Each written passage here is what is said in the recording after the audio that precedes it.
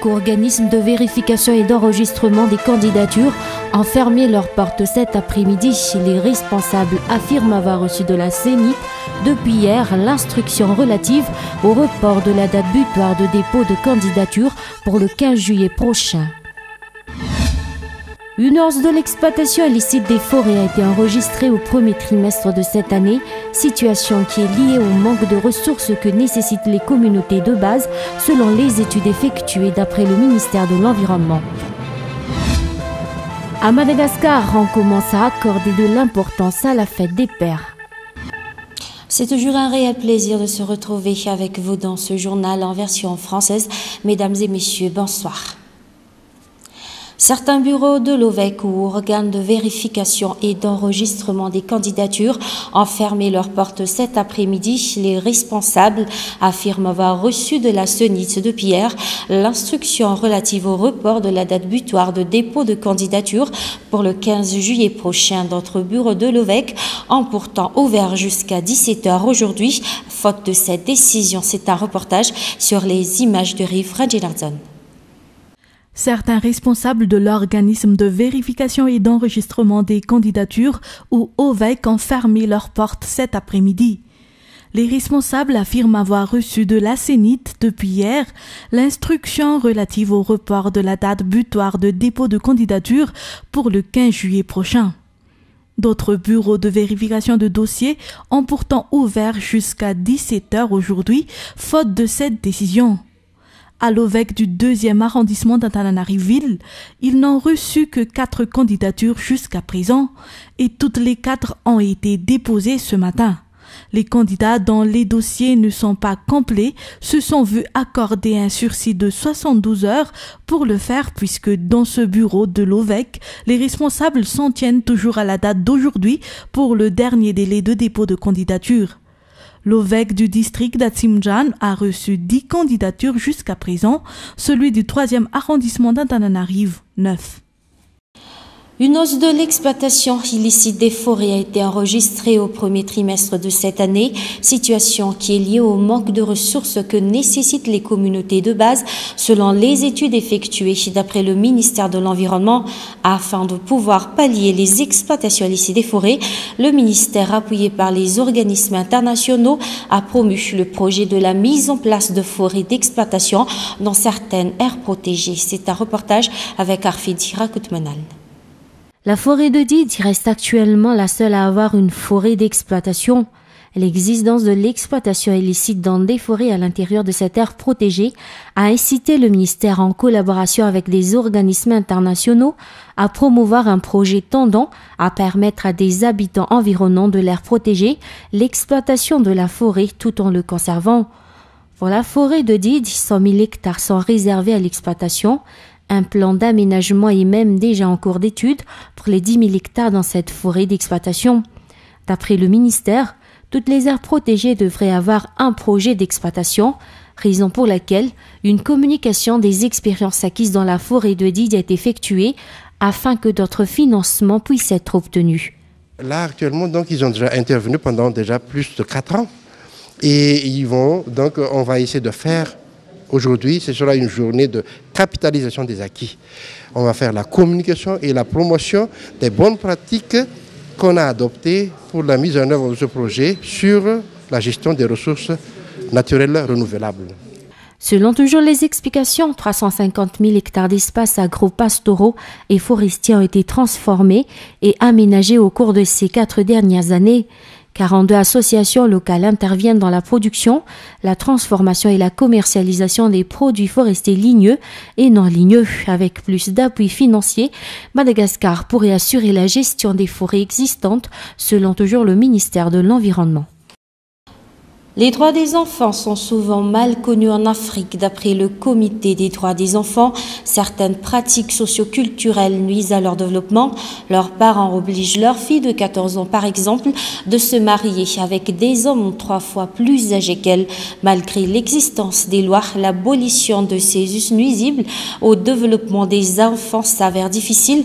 Toujours d'après le Comité africain de protection des enfants, une sensibilisation médiatique a été entreprise. Cette semaine dans le cadre de la commémoration des événements infanticides sud-africains de 1976. Reportage sur les images de Yves Rassat. Certaines tribus du nord de Madagascar pratiquent encore le mariage forcé des petites filles. Cette coutume nuit aux droits des enfants selon le Comité africain de droits de l'homme. Il existe d'autres pratiques socioculturelles qui piétinent le droit des enfants en Afrique et à Madagascar. À part l'envoi des filles se prostituer, la vente des enfants est aussi fréquente dans plusieurs régions de l'île selon le responsable. De telles pratiques font obstacle au développement de l'enfant, a-t-il continué de dire. Il y a certes des lois qui régissent la vie de la société, telles que l'interdiction du mariage avant l'âge de 18 ans. Mais l'éradication de ces us et coutumes s'avère difficile, étant donné que l'Afrique est un continent conservateur, selon le rapport du comité. Il y a les mariages précoces euh, arrangés ou forcés, et cela se pratique dans tout Madagascar. Les, enfants, aussi bien les garçons que les filles, n'ont pas, pas le choix de leur conjoint, de leur conjointe, parce qu'on les oblige à se marier avec euh, une personne décidée par les parents sans qu'on ait demandé leurs avis. Enfin, ça c'est un exemple, mais il y, a, parmi tant d'autres comme les abus sexuels que font les dirigeants ou les autorités politiques à Madagascar. Les enfants sont souvent considérés comme des objets d'après une association. Les parents les utilisent comme source de revenus, ils les échangent contre des vivres. Parfois, les pratiques préjudiciables aux droits des enfants varient selon la région. Dans le sud-est de Madagascar, par exemple, il est interdit d'élever des jumeaux chez les Antambaok. Autrement, la mère et les enfants encourent le bannissement de la société. L'application des lois existantes sur la protection de l'enfance et les actions de sensibilisation sont ainsi les moyens préconisés par le comité pour éradiquer ces pratiques. Une mission difficilement réalisable, reconnaît-il. Moins de 1% des enfants handicapés mentaux à Madagascar fréquentent les écoles spécialisées. Selon les associations des personnes en situation de handicap, la honte et l'ignorance des familles expliquent ce faible taux de leur éducation. D'après toujours ces associations, l'enseignement de ces enfants nécessite des formations spécialisées, mais surtout de la patience. C'est un reportage avec Mirinj Andjemblul. Bien de personnes confondent les maladies mentales avec la situation de handicap mental selon les associations qui les prennent en charge, ce qui entraîne la discrimination de ces personnes. Pourtant, la maladie mentale peut se soigner, tandis qu'un état en situation de handicap mental est irréversible et inné. Comme tous les autres enfants, ceux qui sont mentalement handicapés doivent avoir accès à l'éducation. Leurs enseignements nécessitent des formations spécialisées, mais surtout de la patience. En effet, l'un des problèmes majeurs des éducateurs est le manque de patience. On n'apprend pas à écrire aux enfants en situation de handicap mental. On leur apprend à s'occuper d'eux-mêmes pour qu'ils ne soient pas un fardeau pour les autres. Moins de 1% des enfants handicapés mentaux à Madagascar fréquentent les écoles spécialisées selon les associations qui les prennent en charge. La honte et l'ignorance de leur famille expliquent ce faible taux de l'éducation, d'après toujours ces associations. Pour célébrer le mois de l'enfance, les enfants en situation de handicap mental organisent une course demain au Marais-Massé. Dans un tout autre sujet par rapport à l'année dernière, la fête des pères semble avoir gagné en considération les chemises. Les montres sont les plus vendues en cette veille de la célébration de la fête des pères. D'après les vendeurs, les petits enfants préparent aussi des mignonnes récitations pour l'occasion. Reportage avec Rive Ranjinartsan. La plupart des familles semblent accorder autant d'attention à la préparation de la fête des pères qu'à celle des mères il y a trois semaines. Il y a ceux qui organisent des moments passés en famille pour l'occasion, tandis que d'autres se préoccupent davantage des petits cadeaux à offrir à papa. Et pour ce faire, les mamans et les enfants ont fait plusieurs magasins avant de fixer leur choix. Ce nouveau regain de faveur n'a pas échappé aux marchands d'articles pour cadeaux. Les chemises, les montres sont particulièrement vendues. Les enfants, surtout les plus grands, ne se contentent plus des petits cadeaux confectionnés en classe sous la direction des maîtresses.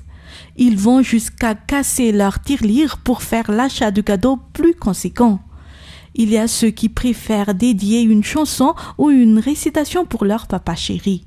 Papa, oh papa, toi qui m'as donné de être un Grex, un d'années, il ne rappelle un amoureux citron.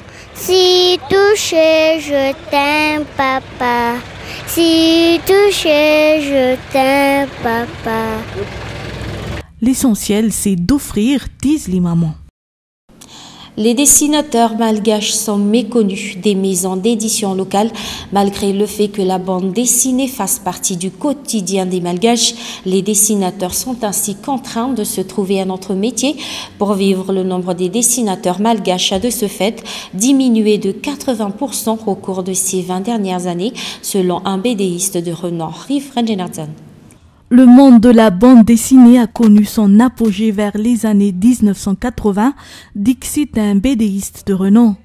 À l'époque, il n'y avait pas moins d'une centaine de bédéistes. Actuellement, ce nombre a diminué. Le désintéressé du public malgache en est quelque part la raison. La bande dessinée fait pourtant partie du quotidien des malgaches.